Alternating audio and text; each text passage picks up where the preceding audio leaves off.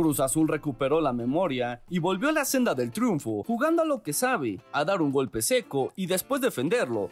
El cuadro campeón del fútbol mexicano venció 1-0 a los Cholos de Tijuana el cuadro fronterizo, después de despedir a Robert Dante Siboldi, presentó un cuerpo técnico encabezado por el director deportivo Ignacio Palou y varios técnicos de divisiones inferiores. Ni así les alcanzó y siguen como sotaneros, y Cruz Azul regresó a lo que le dio resultados el torneo pasado. La cuestión ahora es mantenerlo después del vendaval que presentó Tijuana a modo de bienvenida a su nuevo cuerpo técnico, donde metió a Cruz Azul a su propia área, la máquina comenzó poco a poco a respirar y a encontrar espacios y así meter al rival a su ritmo de juego. La máquina se adaptó a la cancha sintética, supo esperar el bote, los rebotes del balón y decidió probar con tiros de larga distancia al portero de los Cholos, Jonathan Orozco. Primero fue Orelín Pineda, que hizo volar a Jonathan Orozco. Enseguida vino Luis Romo, cuyo disparo pasó desviado. La tercera fue gol.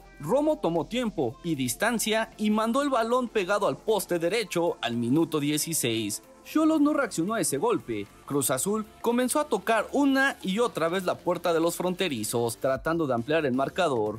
En la segunda parte, Tijuana apretó y los cementeros volvieron a lo del torneo pasado, defender a ultranza, sufrir demasiado para encontrar el premio. Ahí se agigantó la figura de Jesús Corona, con sendas atajadas que mantuvieron el marcador a favor de los capitalinos. Así, el equipo de Juan Reynoso llegó a 17 puntos y se trepó al sexto lugar de la competencia. Tijuana se quedó en el fondo de la tabla con 7.